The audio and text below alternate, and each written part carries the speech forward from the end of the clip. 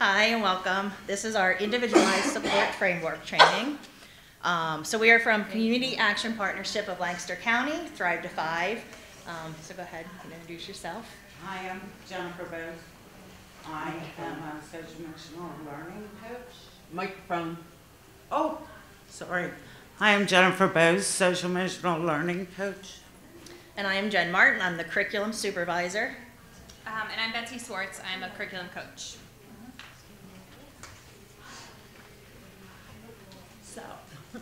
We are Thrive to Five. Many of us, um, many people aren't as familiar as they were with our last program name, which was Lancaster County Head Start. Uh, we took on new leadership five or six years ago. At that same time, we added programming, so we were basically serving um, HISAP classrooms and uh, Head Start, three to five year olds. We have added zero to three to our programming, and we have rebranded to Thrive to Five for that reason.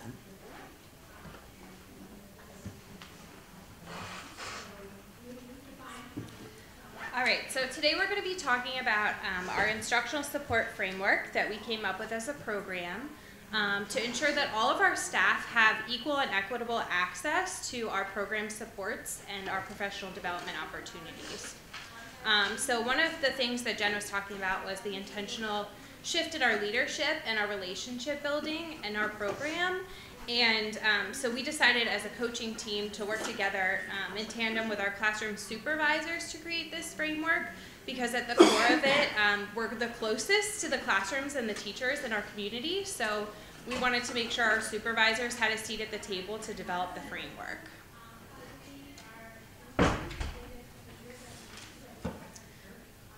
So we chose a diamond shape for our visual. Um, we modeled this after our NCPMI pyramid practices and our tiered levels of supports that we use to support children in our classrooms. Um, so we really wanted it to be something that was familiar to our classroom teams and our teachers and our program. And each level of the diamond is unique to our staff area of needs. So in the middle, you'll see that universal um, supports, which is the foundations of quality and compliance supports that, um, I'm sorry. Okay, she was asking me to do something. Um, sorry. Um, so at that universal level, we're talking about those quality improvement and compliance supports that are in place for all of our team members. Um, they're not a choice. They're uh, those foundational practices that we require all of our classrooms to implement um, to help them be successful. And then you'll see the top area is designed into almost like a mini pyramid, and then the bottom is also a different mini pyramid. Um, so that top piece is those quality improvement supports, and that bottom piece is the compliance supports because we know sometimes compliance is um, a piece of our program that we have to implement.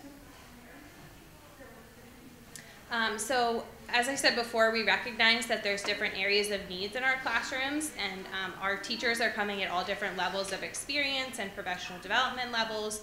So we created the diamond to talk about how there would be different areas that our teachers would always have the opportunity to grow. So we really wanted to create a visual that was fluid, that they weren't stuck in one specific area of a visual or um, a pyramid level or a tier. So um, we talked about how the majority of our teachers throughout the year usually typically stay in that universal level. Um, they're implementing their our program-wide universal practices. They're getting walkthrough visits from their supervisors. Our coaches are on the ground going in classrooms to support.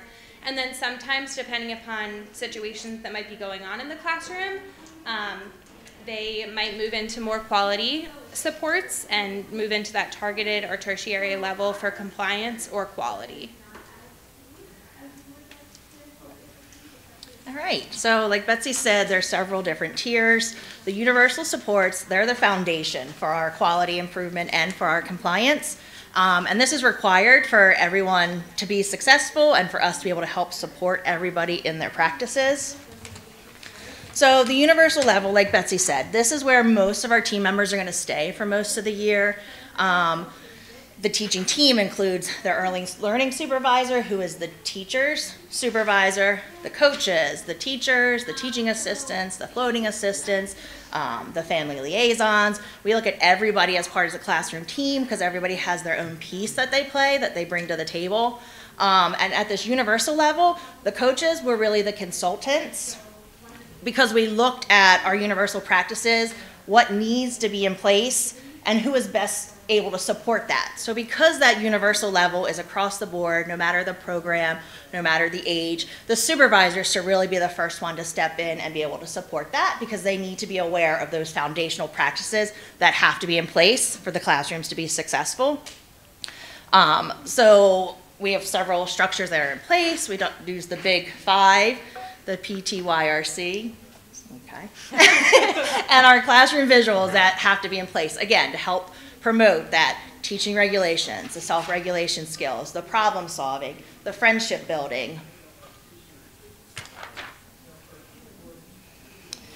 Um, so we look at several different things for this. We do use the creative curriculum, so we utilize the foundations book to ensure that the classrooms are designed in a way for all to be successful. Um, we make sure classroom transitions are planned throughout the day, that teachers are intentional with what they're doing, and that every opportunity is an opportunity for the children to grow and learn. So they should be able to answer our four essential questions, which are what am I supposed to be doing? How do I know I'm making progress? How do I know when I'm done? And what do I do next? This way the children can help make their way through their day um, when they know what's to be expected. Um, and again, yep, we use the foundation book. As Betsy said, they do get visits, both from their supervisor and the coaches, and then we have debriefing. Um, and these conversations are very collaborative. They come from the whole team. What did I see? Here's the, what I saw when I walked in your room. Here are some grows, and here are some glows. That way, there's always something that they're doing great, and there's always something that they can work on. And that's something we talk about then as a team. Okay, this is my grow. What do I need to do next to help meet that grow? We do it in emails, we talk about action steps, we offer resources to help them get there, and we're also working on that capacity building. That staff know what to do, they know how to do it, they know where to go if they need that extra help or support. And we also want staff to know that coaching is a part of their PD. Coaching is something that they should want. It's something that they can do. I'm already doing this. I want to be able to do it up here. So they can reach out to their coach. So it's always teacher driven. It's by choice. We use our CQI data to help us determine what we're going to offer practice-based coaching on based off of program data and program needs. Um, and yeah, the coaches were in the classroom to model, to support. We're right down there in there with the team. So some of the supports that we use are the NCPMI, the National Center for Pyramid Modeling and Innovation. So again, resources that we can use directly in the classroom to help support our PBIS practices and other visuals. We use ECLKC, the Early Childhood Learning and Knowledge Center. Again, those are our resources that are provided through Head Start, um, trainings, other information for the teachers. And then, like I said, we use Creative Curriculum and Teaching Strategies Gold as our assessment tool.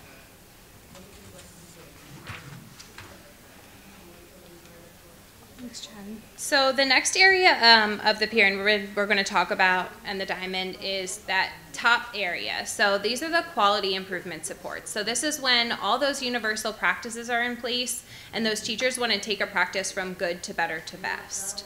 And again, it's very teacher driven. Um, so in those debriefing meetings, you're talking about um, an area that you might want to grow in, um, something you might be curious about, something that you're more interested in getting more professional development on. So we recognize that um, the diamond is is a lot to kind of break down, and there's different areas of it. So we decided that we wanted a little bit more of an explanation about like what's being observed, what are the action steps at each step of the way um, for both quality and compliance improvement supports. Um, so when it comes to quality improvement supports, um, we recognize that regardless of um, any area of need in the classroom, health and safety is our number one concern. Um, so you'll see that red bar at the top that talks about how if any kind of health and safety incident were to happen in the classroom, that's immediately drawn to our supervisor's attention. So um, whether that is any kind of um, slip of an outlet cover to um, something more serious, it's going to be addressed immediately. Um, so that's just there as kind of a disclaimer for all of our staff to understand that this is everybody's responsibility in our program, from a director to our vice president to um, a teaching member of the team. So that piece is there. Um, and then again, like Jen was saying, at the universal level, um, our classrooms are getting those visits by their coaches, their supervisors are in and out. Um, a lot of times, our um, directors and our vice president are in and out of classrooms as well. Um, so there's a lot of people putting eyes on the classroom, and um, hopefully, their universal practices are in place and consistently in place. So at this point, um, the teacher might be interested in something more specific to grow in. Um, that might be asking more open-ended questions during a read aloud. Um, it could be learning more about how to incorporate emotions during choice time. Um, so they're going to reach out. Um, it might be something that they have found from their debrief- debriefings. It might be something that um, a glow or grow came from a coach when they were in a classroom. So um, at that point, the teacher is going to reach out, going to ask them questions, and set up a time to talk more about how um, we can best support them.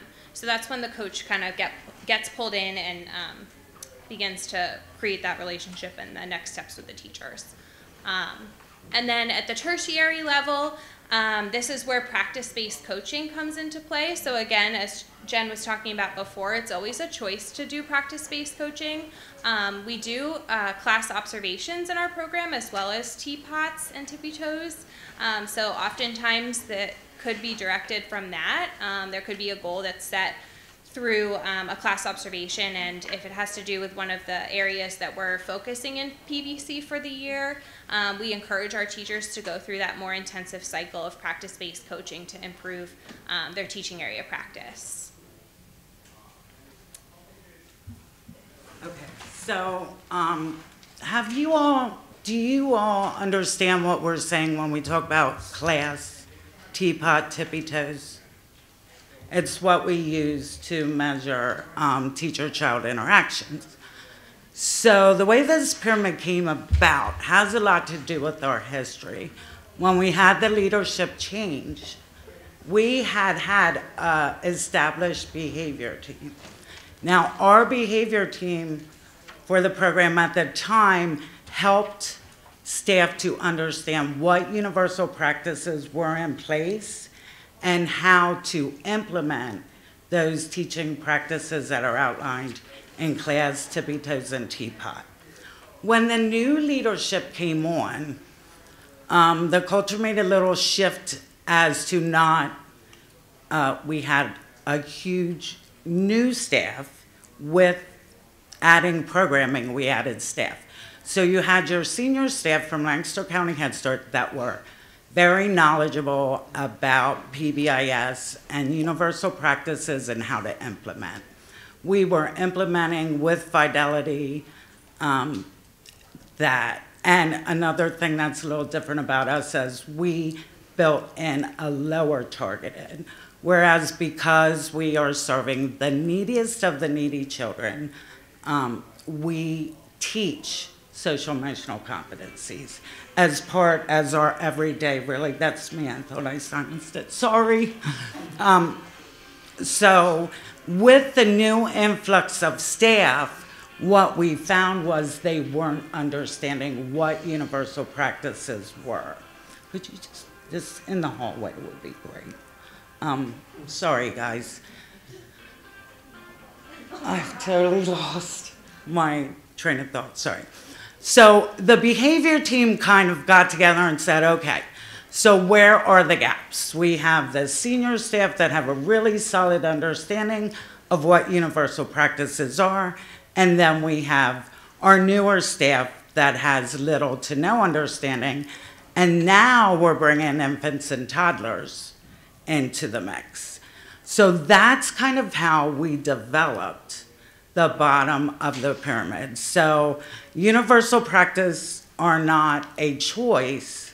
However, what are we going to do that we teach those that don't know what universal practices are what is our systematic approach to implementing those teaching practices we want to see? So um, I had been working at one of our centers that we took on with the mixed age group and just kind of took our TPOT and tippy toe information and used NCPMI as a framework. Um, we were really all about trauma informed, coming back from COVID, and knowing the kind of experiences that the youngest learners were having. How are we going to support them and our teachers? So that's kind of how it came about. So um, we have coaches that are in the classrooms, kind of looking at what is the highest priority, what is the need. We look to our implementate the NCPMI trauma informed implementation checklist. Sorry, that's a big one. Um, for guidance on what practices are we looking for, and then where are the gaps and holes. So what we use, it kind of goes exactly the opposite. So I am a teacher that has universal practices in place. The coaches are coming in, they're doing universal visits. But what if they're not? What we found was we were getting a lot of behaviors in the classrooms that did not have their universal practices solidly in place. So we're, that's how the bottom of the pyramid developed. So we use NCPMI as that framework and the resources to help support the teachers in knowing what to put in place. Um, and it goes to targeted if there is a lack of buy-in or still not an understanding, we bring the supervisors in to help develop a plan for the teachers to be successful.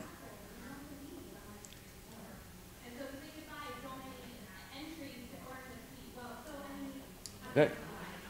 I don't know, I thought you were clicking. Oh, Okay. So are there any questions to this, but from here about, um, what we're doing? I mean, any questions? Yes. Can you talk a little bit about the frequency of the universal visits and about how long it takes from a non-compliant teacher to get from non-compliance to compliance? Great question. So, Jen, before you talk. Just to repeat her question, um, she's asking, yeah, she's asking about um, the frequency of the universal visits and how long it takes to go from having a non-compliant teacher to get into more of that compliance universal range. Is that your question? Got it. uh, we're kind of in a merge right now, so we're also short in coaches along with all the other staff, but we have a caseload of four to five classrooms. If you are in the universal level, we are coming to see you once, at least once or twice a month to um, support you and help you feel more confident and implement more research-based practices. When you are in the tertiary, that's individualized. So you get to targeted where maybe your, your coaching supports would change from the NCPMI is a framework to more individualize. So here's your daily schedule. What's one strategy are we gonna try and implement? And how can we embed that across your day? If that makes sense, right? So now, if you have a tertiary child in the same room that you are kind of having, uh, they're on a closer cycle, it really depends individually, but usually if the, what has been successful is one action step. So what that looks like when you are in a targeted or tertiary cycle is your coaches are in pretty much being a member of the classroom team. What I get to do that you don't get to do is stand back. And what are your transition strategies? What are your individualized strategies for these kiddos that need, need a little more support? We are debriefing every day and then one action step for the next day, right? Um, we have, I want to say, three years going from now, the other benefit of the center that I was in is that you had seasoned staff mixed with new staff. So if we had a teacher that was really struggling, we had the opportunity to partner her with a more seasoned teacher that had a really deep understanding. And then the coach and the teacher, mentor teacher, come work together to build those skills. Um, I, we found a lot of success. Betsy was a teacher at one point, and uh, one of the teachers that was really struggling worked with her for a year, and the difference was just night and day. It's when everybody's kind of working in the same direction. So one action step, we're gonna do this one thing, and typically that's when you get the buy-in, when they are successful with that one thing, and that the entire team understands what the goal is, and we're all moving in the same direction. Sorry about that. Just one thing to add to that. Um, like Jennifer said, it's very individualized. So what classroom A is doing isn't going to be what classroom B is doing. And we also recognize that sometimes people aren't doing what they need to be doing because they don't know that they need to be doing it. It falls back to did we prepare them for the job that we're asking them to do? So that is also taking into account into this plan. Am I not doing it because I don't know it versus I know it and I'm choosing not to? So there are some different paths depending on the reason behind it. And like she said, it might start with the whole classroom team because we're not really sure what's going on here and where the disconnect is. And then the whole classroom might continue on a plan, or we might be able to figure out, okay, it's this teacher here that needs a little bit more. And then they would be able to break off into their own action plan. So it is very individualized for the classroom, for the teachers, for everybody involved. And one of the things that I've done recently too is making sure that there's dates of the timeline on the action plan. Um, so not just like a list of things that need to be completed, but like action steps. So, um, for example, like um, as a coach, I'm going to email you the classroom labels that I don't see all up in your classroom yet. So if you could, I'll do that by this Friday, and then in two weeks, I want to see that they're back in the classroom and they're up and they're laminated on the shelves and on the bins. Um, just to provide a little bit of an example, um, we like to make sure that we're giving concrete deadlines too, as opposed to just an abstract, vague um, idea. Right. Yeah. And as we do that, this is where we're also working with a supervisor. So we're very intentional. Like if Betsy says, I'm going to email you these visuals by this day, and then they need to be up by this day for us to come in, Betsy needs to do her job by this day in order for the team to even make it to their deadline. But then we have that time that you needed it up by this Friday. Myself, your supervisor, somebody will be coming in to kind of check on that, right? Because if we say we're going to do something and we don't, like people aren't going to follow through. So we're very intentional about the timelines and that they're realistic. Like Betsy can't be like, I expect these up by eight o'clock tomorrow morning if our meeting's at three o'clock this afternoon. So we're very intentional about what are we asking, how much time is that going to take, because we want people to be successful. That's the goal. We don't ever want to go in and have them not make any progress. So how can we help them make that progress? Who can help them along the way? And if I could piggyback off that, it, um, sorry, I just lost my thought. Um, so, oh my goodness, I'm sorry. It went out of my head. All right, so I'm going to go. Sorry. So again, we've already talked a lot about this, how the practices have to be in place. Again, health and safety goes out the window. When you're in the coach and something happens, I'm now taking off my coaching hat and we're dealing with this health and safety issue and we're running it up the chain as far as it needs to go. Um, but other than that, like we're not in there trying to find them and be like, ah, gotcha, you aren't doing this. Like we're in there to help support them.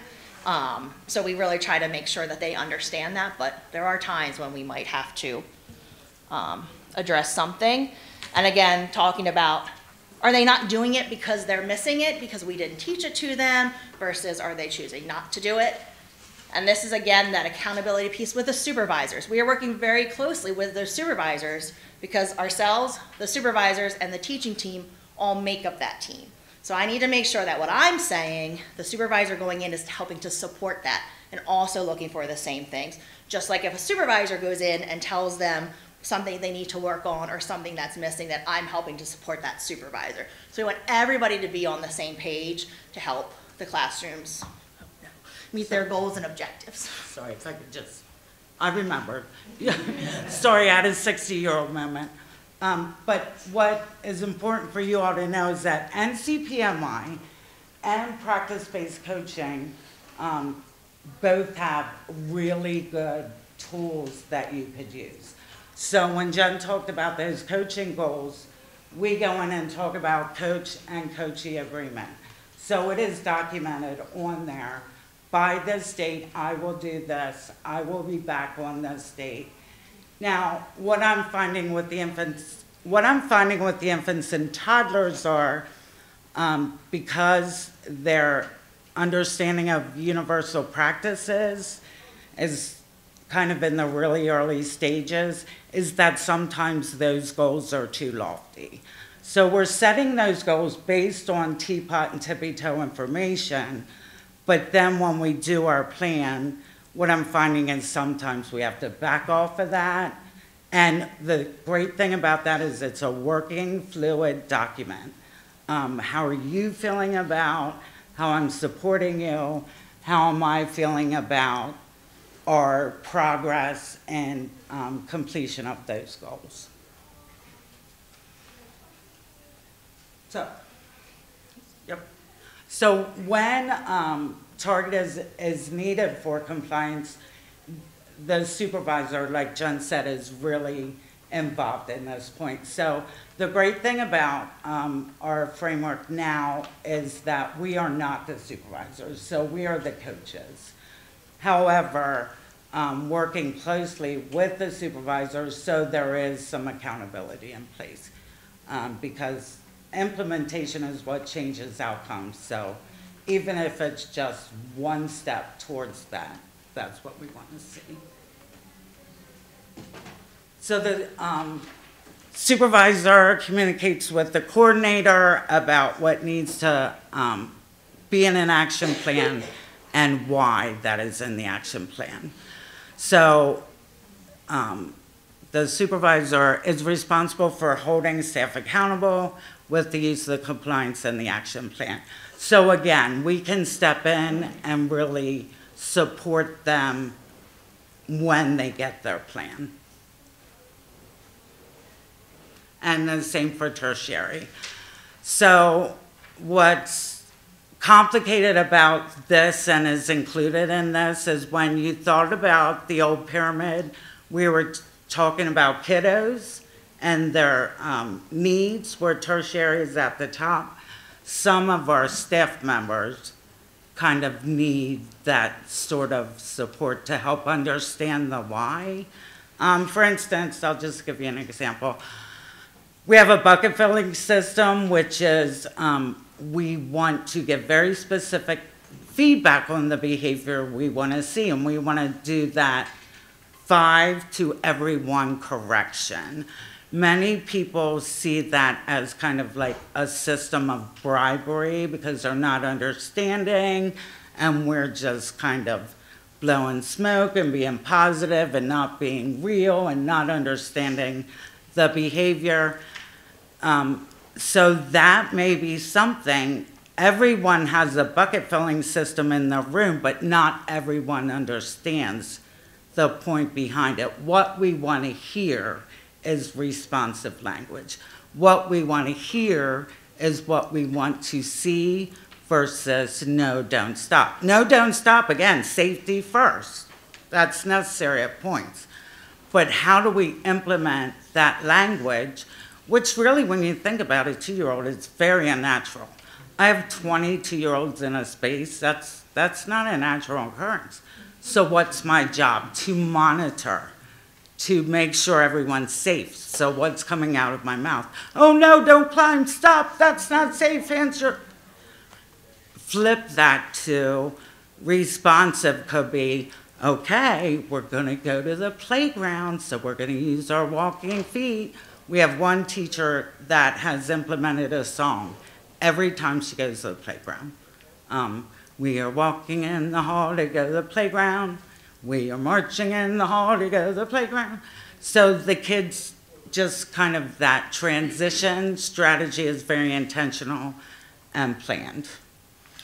Um, so also along with that, as we move down and move into those more tertiary pieces, the accountability really falls to the supervisor because as the coach, we can come up with the action plan. We can tell you what we need to do, how we're gonna help support it, when it needs to be done by, but if you don't do it, we don't have any control over that. So we really need the supervisors buy-in as well, and as they work down, the supervisor starts to take over. The coaches are still involved. We're still supporting that teacher. We're still supporting those children. We're still supporting that ELS if they need help, but they're the ones now driving this because the accountability piece for the teaching team isn't there. So there's our action plan. Anything about it, we can skip on. No, that, that's just a kind of formalized version, that now it's, it's a team. The coach is taking a step back, the supervisor is more, um, directive in what this will look like and sound like, and setting deadlines, yes. So, you know, we often talk about the need to have coaching be separate from supervision because coaching is supposed to be supportive and that's hard, with the supervision. But what I think I'm hearing from you, and if I'm hearing it correctly, I really like it, is that being coached or needing coaching or participating in coaching is pretty voluntary, is supportive, is all of that kind of thing. Failure to participate in the coaching that you are, I mean, to, to follow through on the coaching in which you are participating is where it becomes a supervisory issue. Well, if you think of, if this helps frame it, which makes perfect sense in my mind, we're not Need to rephrase- re- repeat the question. Oh, I'm sorry. The question was that is coaching a choice? It sounds like a choice, but if you, it's not a choice to participate in that coaching, um, which is correct. The compliance piece, I think of more as a preventative. Okay, so if you are a new employee, I'm going to come into your room as a coach to help you understand universal practices. After so much time, or you just buy, don't buy in, or we don't do that here, um, is when the supervisor will step in. The, what's, what we're finding now is we're merging both academic and um, social emotional coaching together is that a lot of our supervisors are part of that new staff and need to develop a deeper understanding of what um, universal practices are and how to support, how they can support those practices.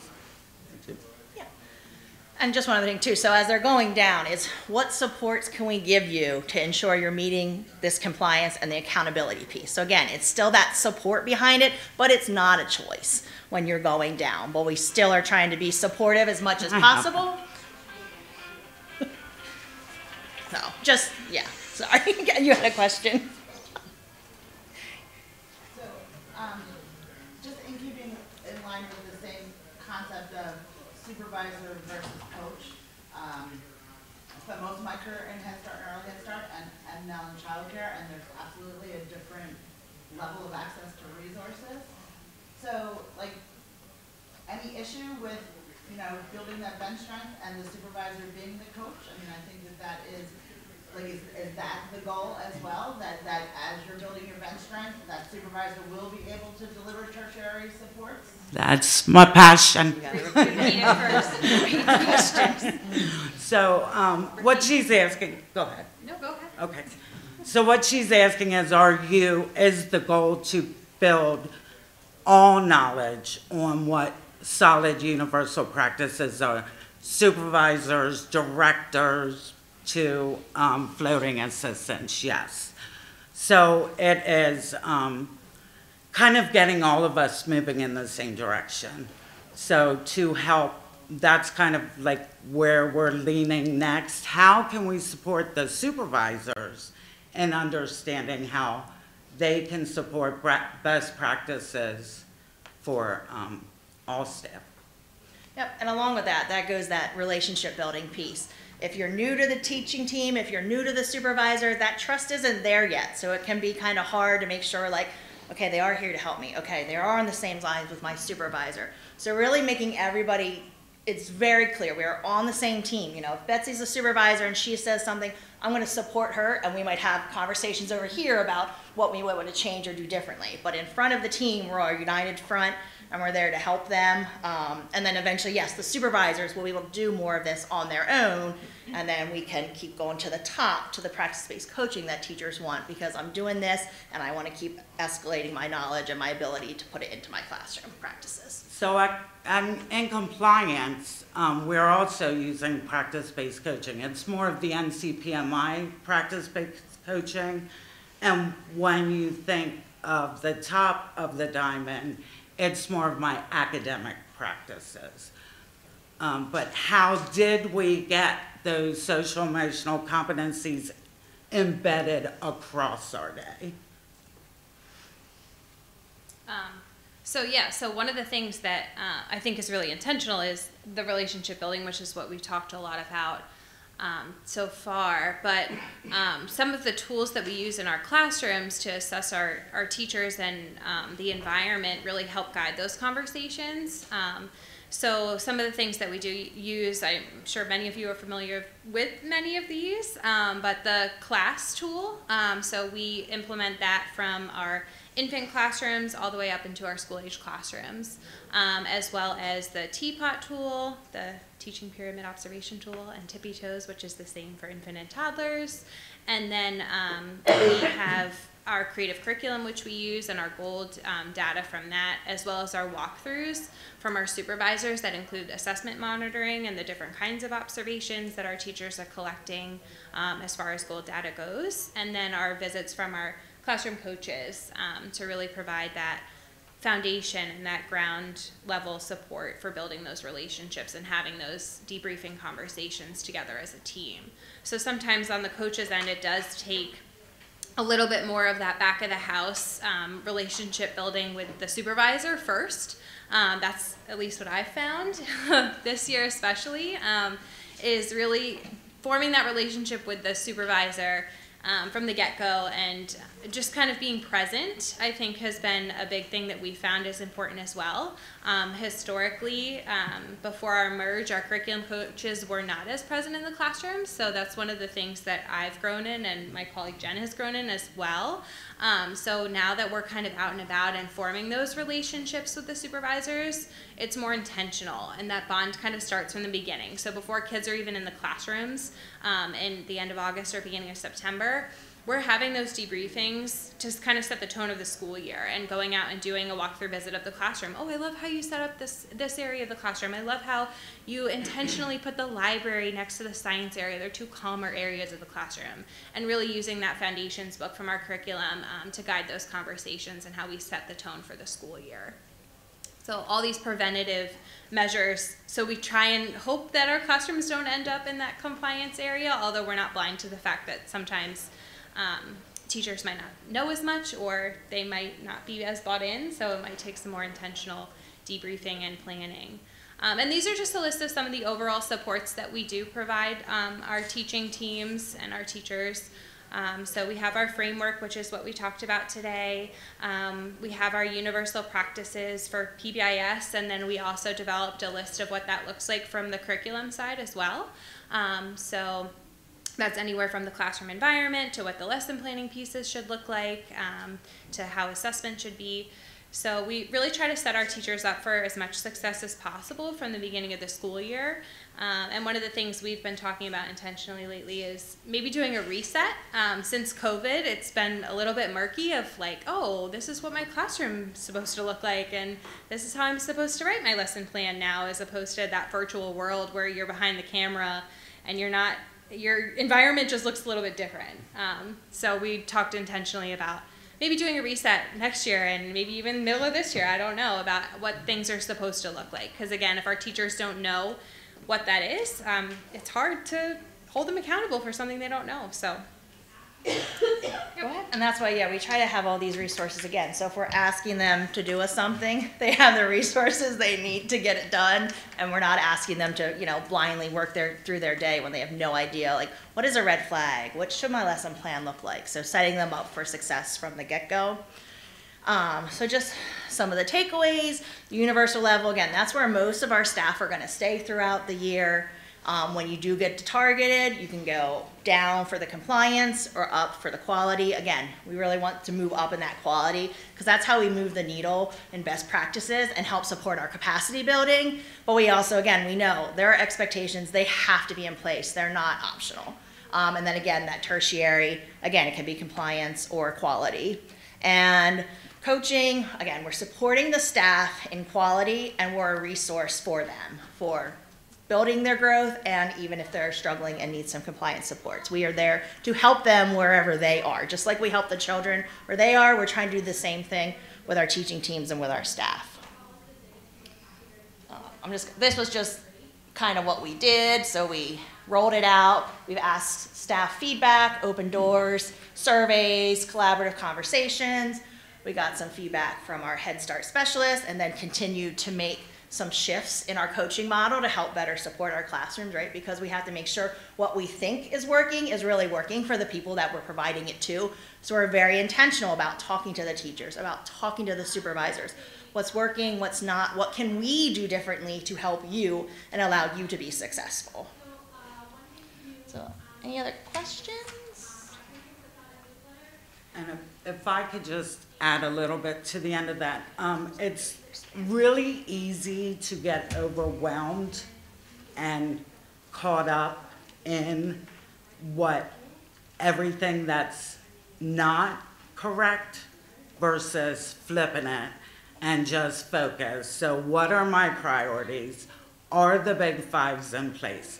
Do we have nurturing, responsive language and relationships going on? Use those research based tools. I open the foundation book often. What happened in our program and the, and the culture shift was that's a behavior, this is academic, when really our foundational pieces of curriculum are about both. Um, how do you set that classroom community and trusting relationships with the children and the staff um, in the classroom? All right, well, if you have, thank you for coming. Our contact information is up there. Um, we hope you got something out of this, something you can take away or rethink. Um, thanks for joining us. Sorry, I get embarrassed.